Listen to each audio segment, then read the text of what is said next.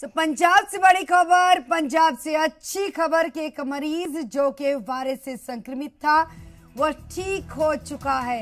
एक मरीज़ ठीक हुआ है और मुख्यमंत्री पंजाब कैप्टन अमरिंदर सिंह इसको एक कामयाबी के तौर पर मान रहे हैं और डॉक्टरों की बात की जाए कि व्यक्ति की रिपोर्ट नेगेटिव आई है, इसे जल्दी डिस्चार्ज किया जाएगा। इस शख्स का इलाज अमृतसर के गुरु नानक अस्पताल में चल रहा था और ये भी बता दें कि इटली निवासी एक परिवार के तीन सदस्य 21 दिन पहले अमृतसर एयरपोर्ट पहुँचे थे, जहाँ से उन्हें आइसोलेट करके गुरु नानक अस्पताल में आइसोलेशन वार्ड में दाखिल कराया गया था। उनमें से एक कोरोना से पॉजिटिव निकला था, उसका इलाज किया गया। उसके बाद, अब जानकारी है कि तमाम उसके टेस्ट जो उसके बाद किए गए, और अब रिपोर्ट नेगेटिव आई है, यानी कि अब ये मरीज़ बिल्कुल खतरे से बाहर है। अमृतसर के डीसी चीफ दुलार सिंह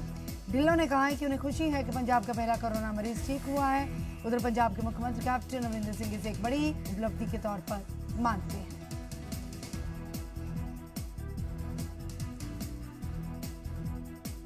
ਅੰਮ੍ਰਿਤਸਰ ਔਰ ਪੰਜਾਬ ਦੇ ਪਹਿਲੇ ਪੇਸ਼ੈਂਟ ਜਿਨ੍ਹਾਂ ਨੇ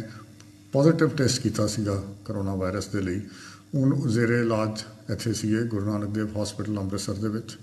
ਔਰ ਅੱਜ ਉਹਨਾਂ ਦੀ ਜਿਹੜੀ ਰਿਪੋਰਟ ਹੈ ਉਹ ਫਾਈਨਲੀ 네ਗੇਟਿਵ ਰਿਪੋਰਟ ਆ ਗਈ ਹੈ ਉਹ ਠੀਕ ਹੋ ਗਏ ਹੈਗੇ ਆ ਔਰ ਕੱਲ ਨੂੰ ਉਹਨਾਂ ਨੂੰ ਡਿਸਚਾਰਜ ਕਰ ਦਿੱਤਾ ਜਾਏਗਾ ਇਟਾਲੀਅਨ ਸਿਟੀਜ਼ਨ ਸੀਗੇ ਇਟਲੀ ਤੋਂ ਆਏ ਸੀਗੇ